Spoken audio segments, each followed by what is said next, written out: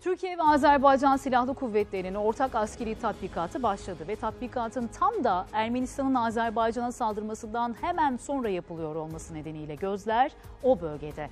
İki hafta sürmesi planlanan ortak tatbikatın ilk ayağında da hava kuvvetleri unsurları önleme ve taarruz eğitimleri yaptı. Düşmana bir anlamda gözdağı verdi.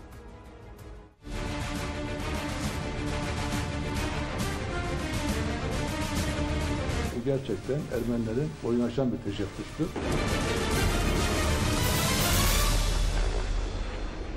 F-16'lar indi önce piste, ardından kasa uçakları ve o uçaklardan milli atak helikopterleri çıktı.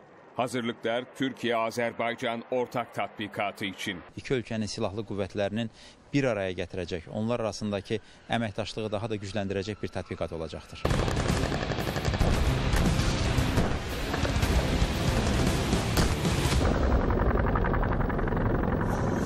Ermenistan'ın Azerbaycan sınırındaki sivil yerleşim yerlerine düzenlediği saldırılar ve ardından çıkan çatışma gerilimi tırmandırdı.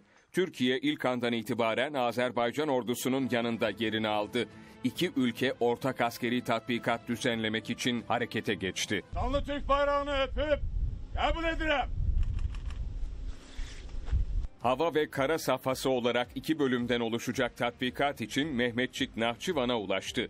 Milli fırtına obüsleri, tanklar ve toplar büyük bir konvoy halinde bölgeye yerleşti.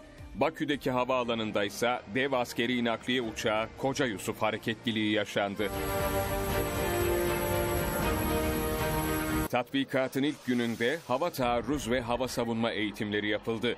Türk F-16'ları ve Azerbaycan Hava Kuvvetleri'ne bağlı MiG-29 ve Su-25 savaş uçakları önleme manevraları icra etti. SİHA'lar ve atak helikopterleri de karadaki temsili savunma hatlarına taarruz etti.